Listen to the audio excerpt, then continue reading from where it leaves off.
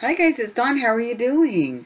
Um, tonight I'm just going through some stuff in my um, art room, and I, I'm kind of putting things away. And I've recently um, got this little baby, and I picked it up at that art reuse center, and I thought it was really cool. It's got a little scratch on the back, but you know, it's not the, this book that we, we like, although it's really pretty if it wasn't so big. I mean, this thing is huge. Here's a ruler to show you how actually how big it is. It's, uh, well, what's that? Well, that would be 12, right? 12 by, I would say 12, 13, 12 by 15 or something. I mean, it's pretty big. It's really big. And then a wide, it's a lot, you know, this way diagonally. It's, it's pretty big. So anyway, this is somebody's, um, somebody's, uh, open those because I want these pages maybe. Um, somebody's, uh, I'm sorry about the glare there, you guys. I had to take down the um, overhead shade because I put in a light bulb. And what ended up happening is I couldn't get the, the, the, the shade thing back up there. What am I trying to say? Not shade thing, but you know what I mean. The, yeah, the shade thing, whatever. Anyway, so now we have that awful glare. But that is, it. that's that'll happen. So I'll fix it someday when I've got a new, um, oh, look at, I've been here, Paul Revere's house. Oh, sorry. Anyway, Faneuil Hall. This hasn't changed, but so all of these, this is the Old North Church.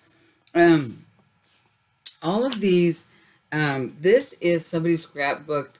It looks like something they did in around 1964. As far as all of the, um, the, uh, dates on here are concerned, it's 1964. So I've been here, Concord Bridge. Yes, I have. I've been. I lived in outside of Concord for a little bit for a minute.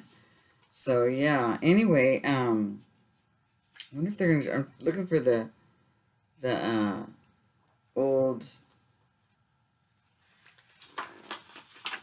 hotel in Concord, but they didn't show it. I stayed there right downtown Concord. I can't think of the name of it. Is it the Monroe? No, that's Concord Grid Minuteman.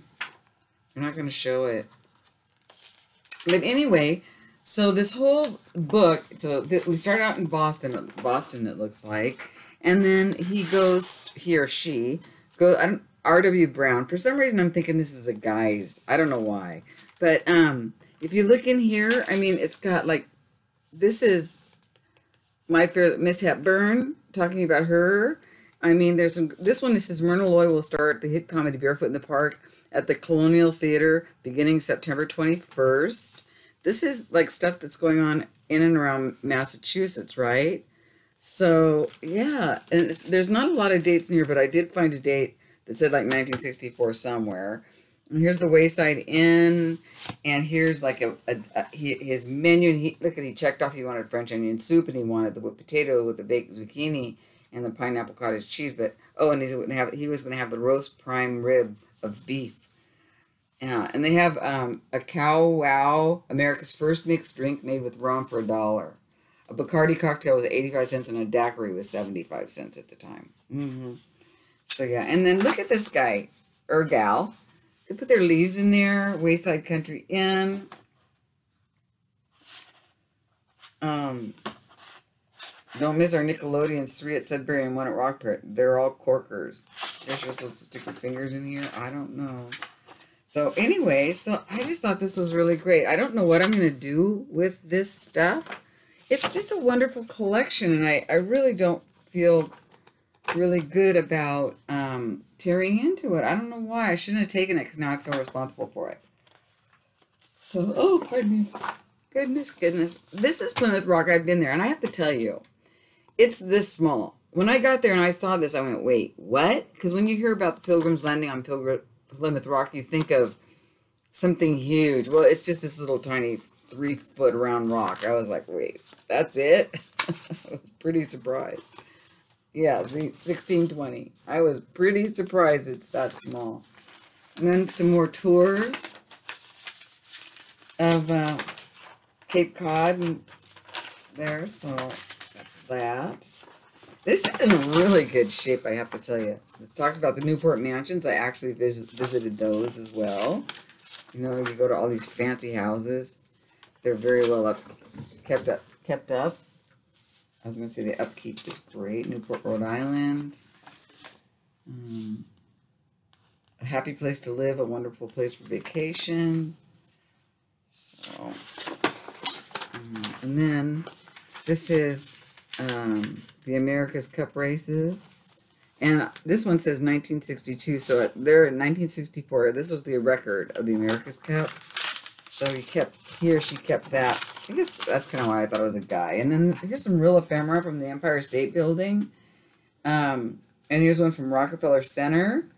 And then here's all of the things that's going on, like the, the World's Fair, um, the famous skyline in New York Harbor, and then just all kinds of stuff. And then wait, hang on there, you guys. It gets better. And this is um, Ben Gazzara and Mildred Dunnock starred in um, Traveler Without Luggage at the Amphitheater. And this was in 1964, September of 1964. Where to go and what to do in New York City. And look at this beautiful, I mean, look at these gorgeous ads, right? Daniel's other, and then gorgeous. Chanel number five. I mean, look at this car. Ride Walt Disney's Magic Skyway. Ooh. Going to the World's Fair. This is all about the fair and stuff, so that's cool.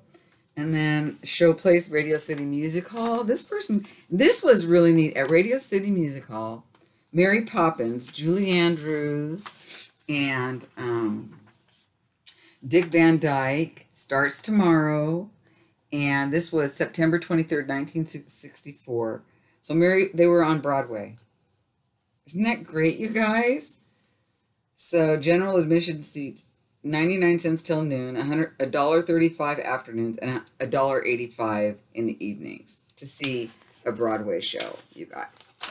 Look at that, Mary Poppins. And uh, Copacabana. Oh, that's cool. Who was playing there? Joey Lewis and Helen O'Connell at the Copa. Dean Martin, Frank Sinatra. Oh my God, Jerry Lewis. All these guys. Oh my gosh, you guys. See, I just don't know if I can tear into this. I, I don't think I can. But now what am I going to do with it? If anybody wants it, let me know. Um, Blue Line Sightseeing Tours. There's a original receipt. There's the gray line. Here's the New York City sightseeing tours. Talks about them. Gosh, downtown and Statue. The fare was fifty cents, including tax and deposit for four hours. It costs more to take a sightseeing tour than it did to take a to go to a Broadway show. Really? Air conditioned and glass top buses. Three hour sightseeing tour. Wow. Wow, wow, wow. This person really loved their um their trip. Isn't that wonderful? What's funny about this is you don't see the Twin Towers because they weren't built yet, right? Is that true? Am I, is that true statement? Here's the Cathedral Church.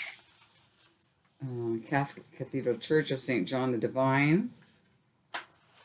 And here's some more, um, the Hotel Lexington, the monthly that you get dining guide, oyster bar, George's restaurant, uh, take the gray line, ice capades, Abco furs. Oh, look at fur rental service for discriminating women. New furs made in our factory. Oh, you could rent a fur. Coco Vaughn. So fancy. So World Fair notes, ballet, sports, miscellanea points of interest, Chrysler Building, Empire State Building, Greenwich Village, Mutual of New York, Rockefeller Center, Statue of Liberty, the Cloisters, United Nations. Wow. And then look at these tickets right here, guys. These are for real tickets. Souvenir receipt of a visit to the top of the world's tallest building, to the observatories. Two tickets atop the top of isn't it, can you hear her running around? I don't know why she does it. I think she's mad at me at night. Praise is universal. Bathed in the, that's gorgeous. Okay, this is the view you see looking south, south, southwest, northwest. Um, what else do we got here? We got the World's Fair. What to see at the World's Fair? Look at that.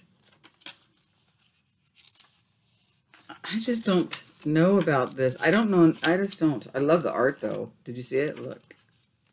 That cool? That's not. Wait, hang on. They have exotic bazaars there. They said. Oh, what did I see? There, isn't that pretty? And then here's more of the World's Fair. Look at the color of these pages. They're in really good shape. Here she is. They're in really good shape for um, being. Let's see. I'm. I was born in 60. 59. So this book is 55 years old. 55 years old, you guys. Mm -hmm. Somebody's memory is 55 years. This person took 1964 and traveled all over the East Coast. You know? Wonderful World, officially New York's World Fair issue, featuring the Festival of Gas. Welcome aboard. See, uh, that's why I think this was a guy, because some of the other stuff in here is more like things like guys would. Here's UNICEF. New York's World's Fair, 1960 Underground World Home Corporation. How would you like sunshine every day when you want it? I don't know what that's about, but that's pretty cool. This is what I thought was really cool, you guys. When you open this up and you look at it, it's talking about the computer with its information storage devices is housed in the glass enclosed room at the end of the library in the USA. Requests to it are initiated by professional librarians located at the reference desk. The librarian uses a Unisec keyboard to transmit a request for specific information, such as one of 75 subjects represented in the challenge exhibits, the age or educational level of an inquirer, whether a reading list or essay is desired, language desired for an essay.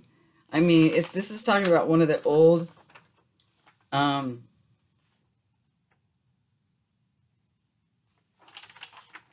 old uh, what do you call it? UNIVAC, an old computer, for the 490 real-time computer system. So Benjamin Franklin by Carl Van. I don't know. It's just interesting. This is just super cool. And then what's this? Oh, this is just a great big map of New York City back in the day. Back in the day. Isn't this well cared cared for, you guys? And here's the Wax Museum in, uh, okay, now we're in Gettysburg. So we're out of New York City and we are in Gettysburg. So this person went to the Gettysburg Museum as well. And this is all the old pamphlets from the Gettysburg. I wonder if I should call these guys and say, do you guys want your pamphlets? this is 1963, but I mean, this could have been um, printed in 63, and he just got it 64. Cornwall Furnace. Oh, you can tell I'm not in bed yet. Oh, I need to be, but I'm not. And then look at it, what a paper person, right? Isn't this sweet? I built the door, but it didn't make. You keep here, you keep here a while till I dress around, huh? It wonders me. What does it give for dinner? Pop, don't eat yourself full. There's cake back yet. Those seats are so near for me, I sit broad. Aunt Min don't feel so pretty good. Her back ouches her something wonderful. Well, okay. Throw Papa down from the haymow his hat. What in the world?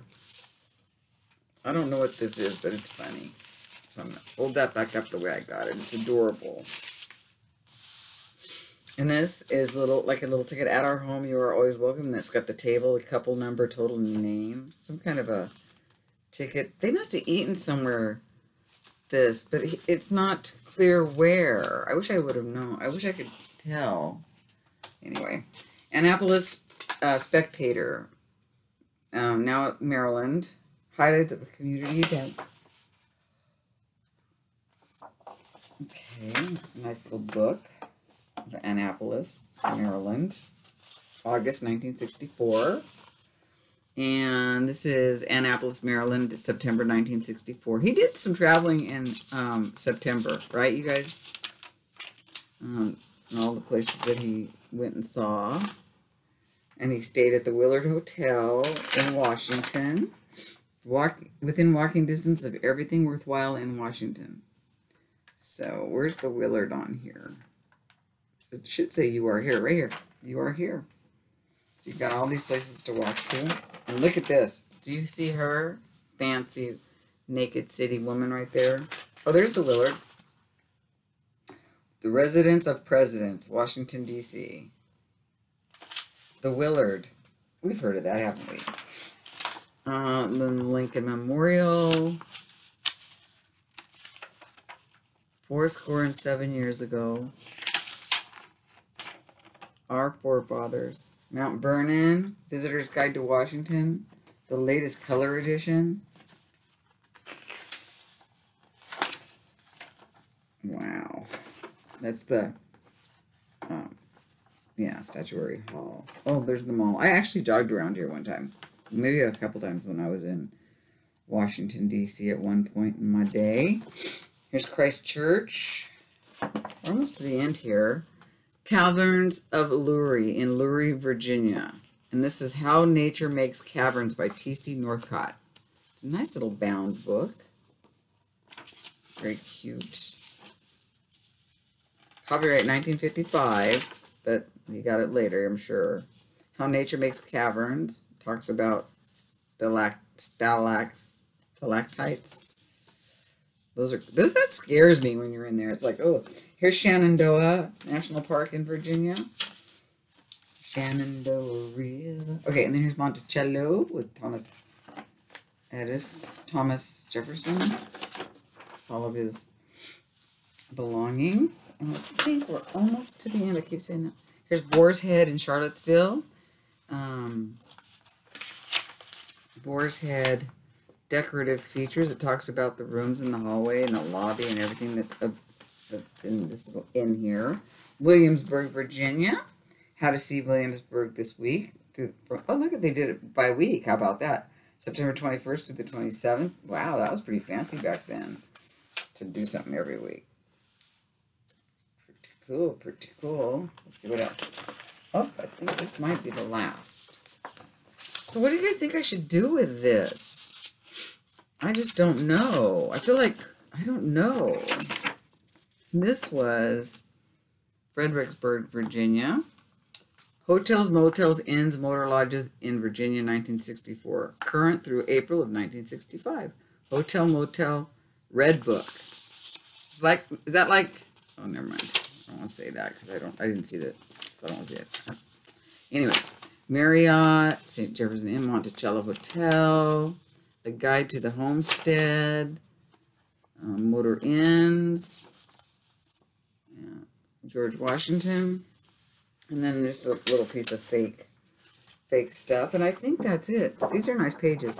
So anyway, I just wanted to share this with you because it's a really wonderful, well-preserved month, it seems like, of um, somebody's trip. They really enjoyed themselves. So I don't know what to do with it. I don't know whether I should take it apart and piece it out or if I should you know, let it go as is or try to, there's no names in here. There's only one name and that's R.W. Brown.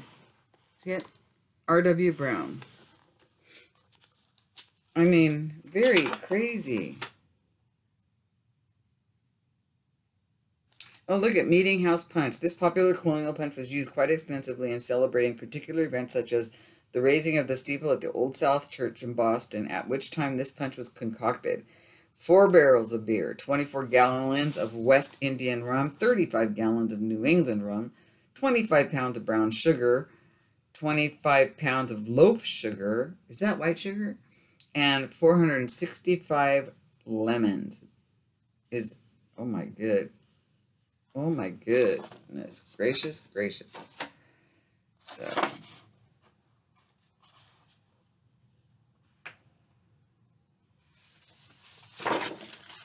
Oh, look at, there's Aunt. I don't want to, if I turned it around, I could stick my hand in there and help her. oh, that's funny. Anyway, all right, you guys. I hope you guys enjoyed looking at this as much as I did. That was my second time, and I really enjoyed it. So I hope you did too. I don't know, because I've been to a few of those places, and so that was kind of fun. I hope maybe that you guys have too, and it brought back memories. All right, talk to you guys later. I'll see you soon. Bye, guys.